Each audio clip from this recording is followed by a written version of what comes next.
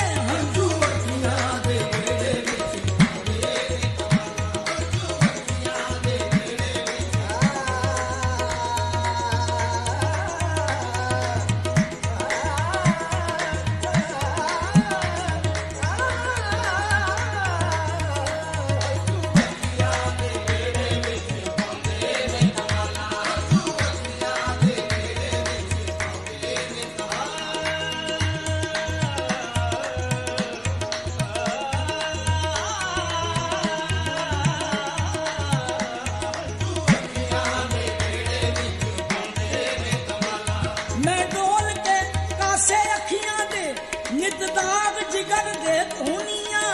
ਜਦੋਂ ਚੰਨ ਤੇ